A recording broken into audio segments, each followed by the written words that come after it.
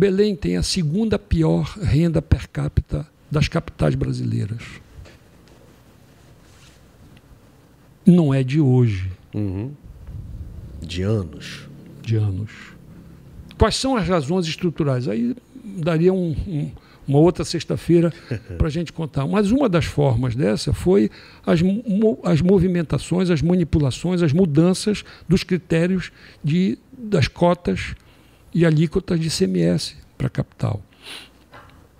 Entende? Que foram mudadas duas ou três vezes ao longo desses últimos 20 anos, em prejuízo a Belém em relação a outras cidades que tiveram.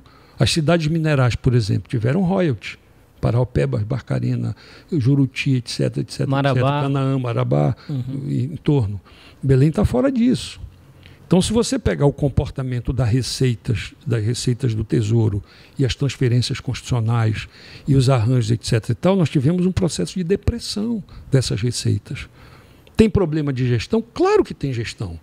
Mas eu não posso, por honestidade, é, omitir que tem um problema estrutural que vai acontecer para qualquer um.